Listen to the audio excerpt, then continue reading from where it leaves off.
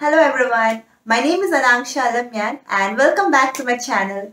In this video, I'm going to tell you how I managed to read 8 books in the past month without taking out extra time from my schedule. Now before we get started, I want to make sure that this is not a video where I'm going to give you speed reading techniques or I'm not going to teach you how you can read a book of X pages in Y hours. If you are looking for tips on how you can get more reading done, I have already made a video about this. I am going to link it right here. You can check it out. This video is instead about how you can make reading a part of your schedule and how you can make time for reading even though you feel that right now you have no time. The first thing I did was I made friends with audiobooks. For my birthday last year, I gifted myself a subscription of Storytel. If you don't know, Storytel is a service that provides audiobooks uh, for a subscription fee each month and you can read as many books as you want within that month for that particular fee.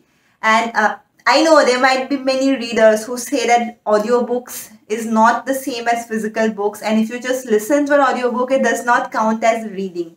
But as someone who has read more than 700 books in her life, let me tell you this, and you can trust my words, audiobooks give you a whole new immersive experience and they let you experience the author's words on a different level, a different dimension. And if the narrator is good, then the narrator also takes effort in giving each of the characters a different voice and you can feel them, you can connect to them on a deeper level.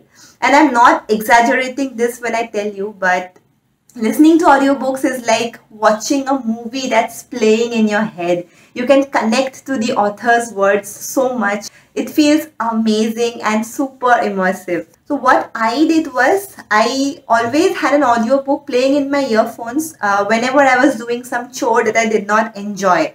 For me, these chores were cooking or cleaning the house or hanging out the clothes to dry.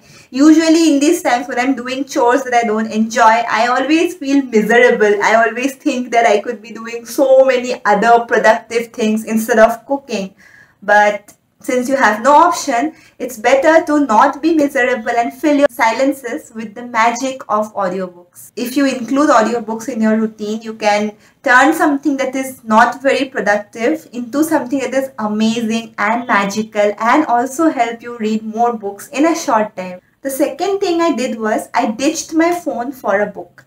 Now this might sound very obvious but if you are like me you might have this habit of scrolling your phone before going to sleep. Like there used to be a time when I used to take my phone and lie on bed with the lights turned off and I used to scroll meaninglessly through social media for I, I used to think I would scroll through for some minutes but usually it used to turn to hours and hours of meaningless consumption of content that's meant to give me instant gratification. Once I decided that I need to read more books, I stopped doing this. I just left my phone on a table that is far away from my bed. I did not bring it to my bed at all. Instead, I took a book or a Kindle and I read for a few minutes before I fell asleep. Now you might say this is like replacing one addiction with another. But let me tell you this from my experience that once I started reading before going to sleep, my mind felt calmer, more relaxed, and I realized that I had a longer duration of REM sleep. So I would definitely say that reading before going to bed helped me sleep easier and for longer durations. The third thing is I made reading a part of my morning routine. Now when you wake up in the morning, one perk of leaving your phone away from your bed is that when you wake up, you always have the urge to reach out for your phone and check what new notifications have come, right? So if you don't have the option of checking your phone, the first thing you're going to do is obviously going to pick up the book that you were reading last night before going to sleep.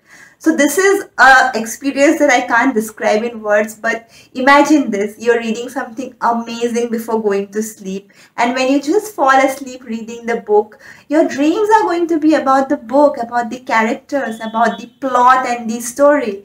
And then when you wake up, you feel somehow so happy you feel that you're so lucky that you can jump right into the plot without having to waste any time and you just pick up the book you pick up uh, you start reading from where you left last night and it gives a whole new level to the experience of reading and you will love it I have started loving books more once I started doing this. I felt more connected to the characters this way.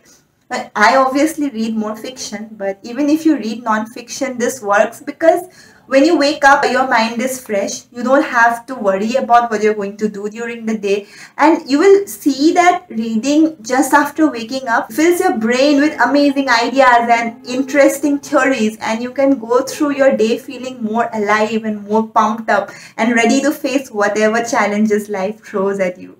So yeah, these are the three things that I did to make reading a part of my schedule. Now I would like to tell you something which you might already know but you might need to hear it again. And the thing is that you are never going to have time for reading. Instead, you will have to make time on your own. And I just suggested three steps that I did and I did not take out any extra time from my schedule. Instead, I just took the time that was wasted usually and I reallocated it into something more productive. So I can you, you can also try these steps. Read something before going to sleep and read something immediately after waking up for 10 to 15 minutes and also make friends with audiobooks. When you try these steps, you will see that you don't have to make extra time. You don't have to worry that, oh, when will I read or I don't have time. You would have no reason to give yourself these excuses. So yeah, that's that brings us to the end of this video. If you have any more tips on how you can make reading a part of your schedule, you can let me know in the comments. And if you like this video, don't forget to like, share and subscribe to my channel and also press the bell icon so you don't miss more notifications.